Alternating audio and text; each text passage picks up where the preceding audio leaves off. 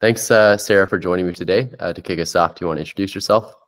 Sure. Yeah. Thanks so much for having me here today. I am uh, currently a student at Stanford pursuing an MBA and master's in education um, at the Graduate School of Business and Graduate School of Education. And in addition to my role uh, as Director of Founder Programming for Galvanizer, which I'm excited to talk about today, I'm also uh, the president of GSB's Education Club and in, involved with a few other clubs on campus, like Women in Management Club. And prior to school, I was a consultant at McKinsey for a few years and worked at Guild Education uh, for a couple years.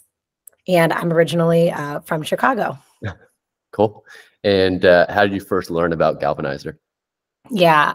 So I first learned about Galvanizer uh, last year when I saw their 2022 pitch day and i was just really immediately drawn to the community uh, which is you know founded by women and for women aimed at closing the female founder gap and i've always been really passionate about community building and uh, coming to the gsb i wanted to find a way to like immerse myself in the startup ecosystem um, in Silicon Valley and such. So when the time came uh, to apply to Galvanizer on the leadership team, it was it was really a no brainer for me.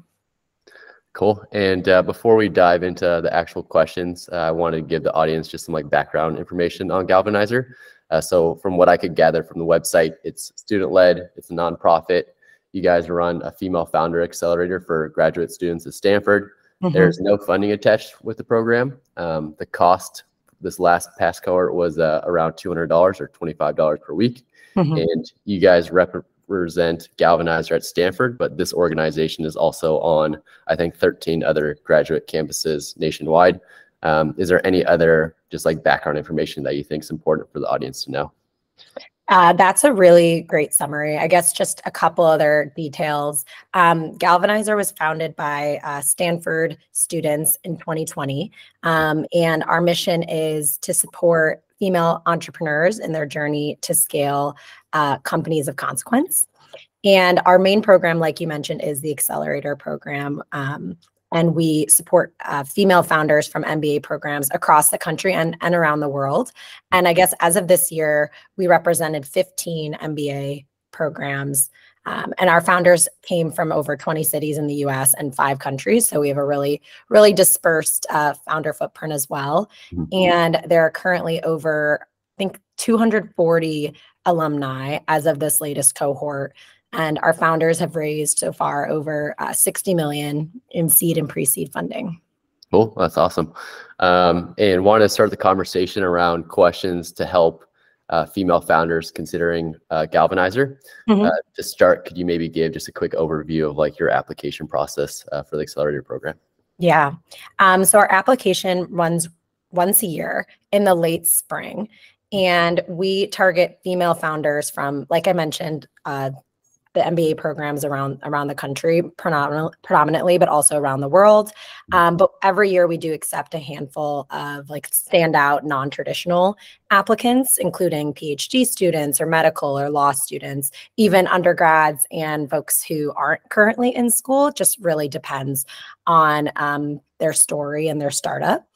And during the application process, um, we are mainly looking for a few things in candidates. Um, the first one is just passion, like how enthusiastic are they about starting their venture? Um, you know, how much have they already put into it so far? And then the second thing is background. So this is also like founder market fit. Um, we also look at the quality of their application like how much how much time and effort did they put into uh, answering all the questions and supplying the supplemental materials that we look for. Um, and then finally we look at how much time we think they're going to commit to the program and give back to the galvanizer community. Cool. And uh, the program consists of gal groups expert office hours and community connections. Can you just share more details about, I guess, how the program is structured and what topics are covered? Yeah, sure. Um, so the program runs for eight weeks, um, like you mentioned, over the summer. And it consists of a weekly gal group which is basically a mastermind session of five to six founders that meets once the same time every week. And the goal is to help just keep you motivated and moving forward on your venture. And then sprinkled throughout the eight weeks there are a bunch of expert office hour sessions. We cover everything from you know finding product market fit to um, early go to market and sales strategy as well as product um, fundraising is a really popular topic for a lot of our founders. So we bring in a bunch of VCs and other experts uh, to speak to our founders there and dive deep into their their topics of interest and their questions. Um, and then we also have community socials. So those are largely in person in our biggest cities, which are New York and San Francisco. Um, but we also do a couple of different virtual community networking events like coffee chats um, because it's really important, we believe, for our founders to feel like they're part of a community because as a female founder, the as a founder in general, but especially as a female founder, the journey can feel really, really lonely. And so we want to create some community around that. And then I think the only other thing I'd add is that our eight week program culminates in a demo day. And that's traditionally done virtually, but we have a panel of judges who are all partner, female partner level VCs um, across different range of firms. And they will come in and evaluate the founders. Um, and every year we kind of switch it up a little, but sometimes we have it be a competition where there's money on the line. Um, but ultimately, ultimately, it's a great way for founders to like showcase all the progress they've made over the summer and get to know investors as they're going to seek funding. Cool. And uh, when startups like enter the program, I guess like what stage are they at? Like, do most have customers? They have a product, or where are they at in the process? It's a great question. It's it's a mix. Um, so I'd say about a quarter of uh, the gals in our cohort have already started or successfully raised funding, and so they have a lot of them have customers um, already who are paying for their product. And then I'd say half are still in the like prototyping phase where they uh, don't yet have uh, paying customers for their product, mm. and then a quarter are in the in the earlier days. So think about like folks who have taken a couple of class startup classes in in school but haven't yet like uh, dedicated themselves more fully to their to their venture.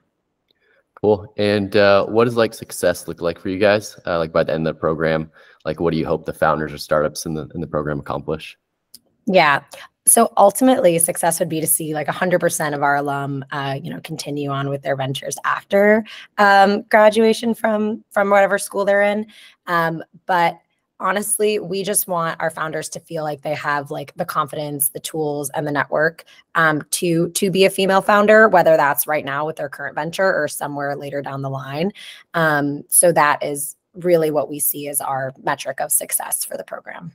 Cool. And do you have like a percentage for number of students who graduate that continue on uh, with their startups or? Yeah yeah. So over half of our founders um, in historically have continued to work on their startups after graduation.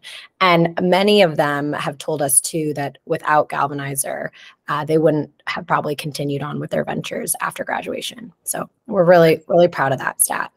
That's awesome to hear. And uh, kind of curious, like, what do you see as like the biggest opportunities to just improve uh, how Galvanizer supports uh, founders today? Yeah.